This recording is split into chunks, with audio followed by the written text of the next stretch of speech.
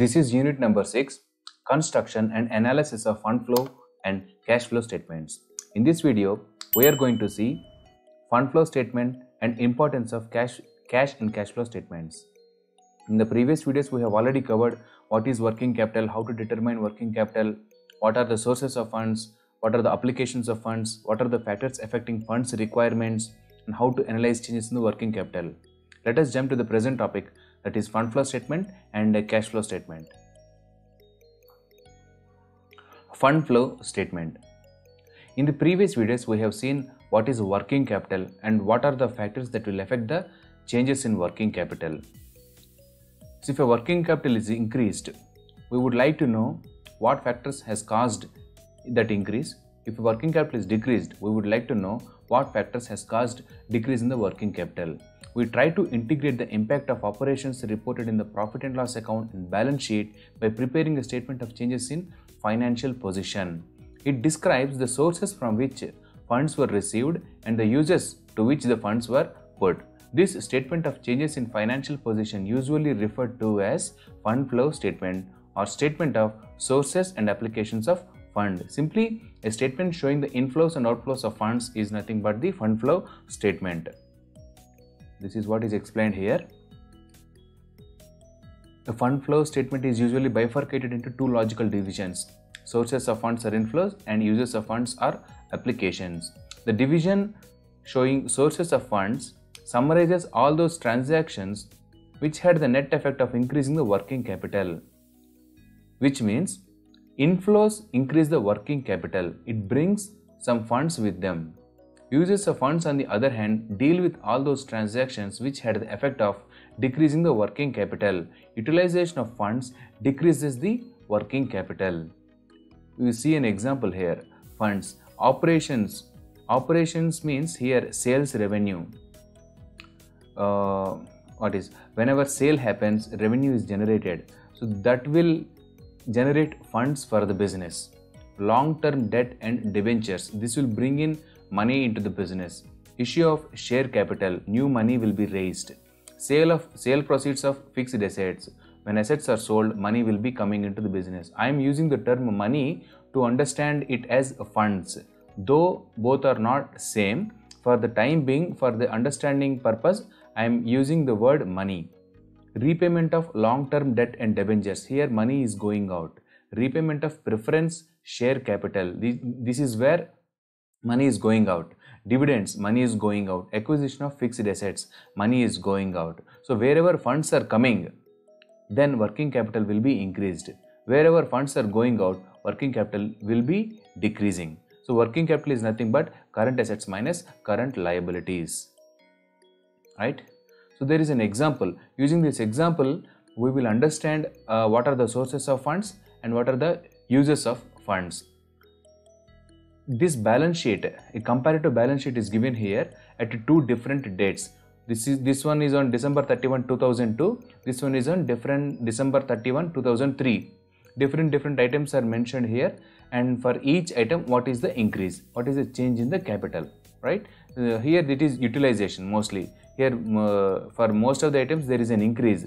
Plant and equipment at cost. See plant and machinery is increasing. Means new machinery is purchased. Furniture and fixtures at cost it is increased from 8.6 to 14.5 this means new machinery is bought by the company. So this increase uh, tells us that um, company has purchased uh, machinery and funds are being utilized right? From this we will see fund flow statement. Sources of funds different items are given here. Net income 37.25 million rupees this is the total sales revenue. Consider it as a total sales revenue. Profit and sale of furniture. Remove this profit and we will we will be having the actual funds generated from the sales. Add depreciation, amortization and provisions. Depreciation and amortization, these are all non-cash expenses.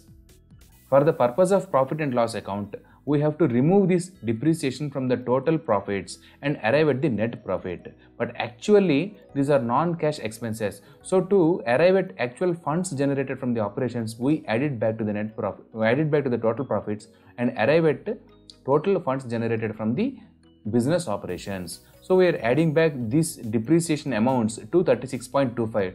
Therefore, 48.15 will be the total funds.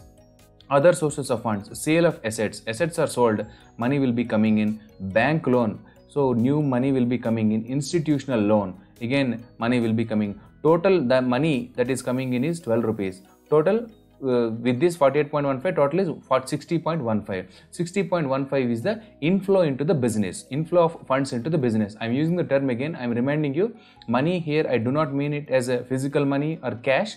I'm just for the purpose of understanding i'm telling it as money but actually it is funds coming into the business. Now utilize users of funds or utilization of funds. Payment of dividends funds are going out. Purchase of plant money is going out purchase of furniture money is going out. Investments money is going out. Investments in projects technical assistance fees money is going out. Increase of working capital right? Money is going out right? So total is 60.15 these are all the utilization of funds which is uh, decreasing in working capital. These are all sources of funds which is increasing in the working capital. This is about fund flows fund flow statement. Importance of cash flow cash and cash flow statement there is no need to emphasize the importance of cash in the day-to-day operations of a business. It is very very it is a lifeline of any business. The obligations and liabilities of a business arising on day-to-day basis must be met through cash or check. We must also be able to distinguish between profit and cash. Entire profit will not be in the form of cash and it is not equal to the cash on hand. One cannot pay creditors electricity bills tax or even dividend by net profit. For such and many other purposes, a business needs either physical cash or balance or credit limits with banks, like overdrafts.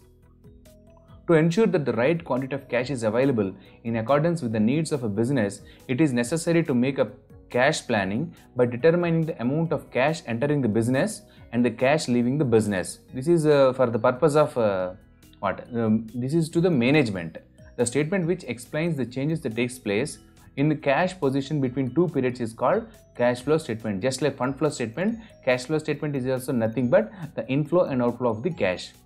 Cash flow statement is an important tool in the hands of the management for short-term planning and coordinating of various operations and projecting the cash flows for the future. A question might be asked here what is the importance of the cash flow statement? It is important to the management for planning, for coordinating activities and for projecting future cash flows.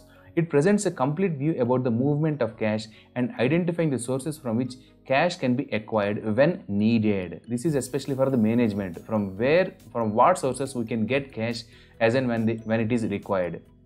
The comparison of actual cash flow statement with the projected cash flow statement helps in understanding the trends of movement of cash and also the reasons for the success or failure of cash planning. Many businesses might be having huge profits, but if they do not have cash on hand for day to day expenses, it will be utterly failure. It will give a bad impression on the vendors and the customers. Cash flow and fund flow statements are similar to each other in many respects. The main difference, however, lies in the fact that the terms fund and cash import different meaning. Earlier, I, have, I was using the term fund to mean it to cash but actually there is a uh, big difference between the term fund and cash. For the understanding purpose i'm using it as cash or money. But actually fund is a larger term. It's a very big term. Fund could be a sales revenue uh, could be income from selling of assets uh, could be depreciation or funds generated from operations. So different different items are there. All these put together it is fund. Whereas cash means cash the money the hard currency that is called cash currency or currency equivalents like uh, cards can also be considered as cash. Okay? The term fund in fund flow statement has a wide meaning. A fund flow statement examines the impact of changes in funds position during the period under review on the working capital of the concern. We have seen already working capital means the difference between current assets and current liabilities. When we are analyzing the difference between current assets and current liabilities, we will understand from what sources the funds are coming in and in where and in which areas the funds are being applied.